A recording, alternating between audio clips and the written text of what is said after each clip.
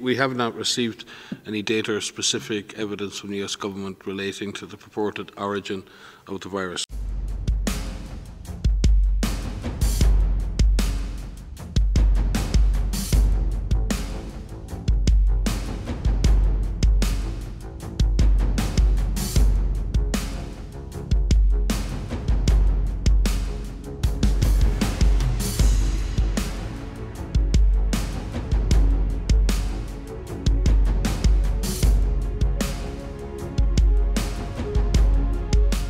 We have not received any data or specific evidence from the US government relating to the purported origin of the virus. So, uh, uh, uh, from our perspective, this remains speculative, and uh, and but any like any evidence-based organisation, we would be very uh, willing to receive any information that purports to the origin of the virus, because as Maria said, the origin of the virus is a very important piece of public health information for future control.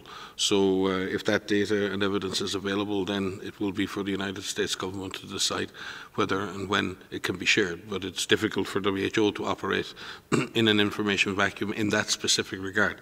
So we focus on what we know, we focus on the evidence we have, and the evidence we have from the sequencing uh, and from all that we have been advised is the, the, the, the, the virus itself is of natural origin, uh, and we need to understand more about that natural origin and particularly about intermediate hosts.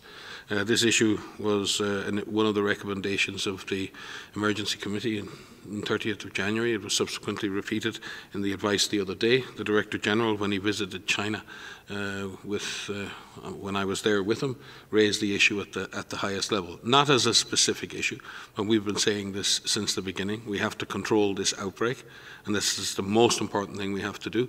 But we have to also understand the origin so that we can uh, put in place the right public health and animal-human interface policies that will prevent this happening again. This is not unique. We have done the same in the Middle East with MERS. We have done the same with Ebola in Africa. Understanding the host uh, animal, understanding the intermediate species, and understanding how to protect human beings in that cycle is exceptionally important.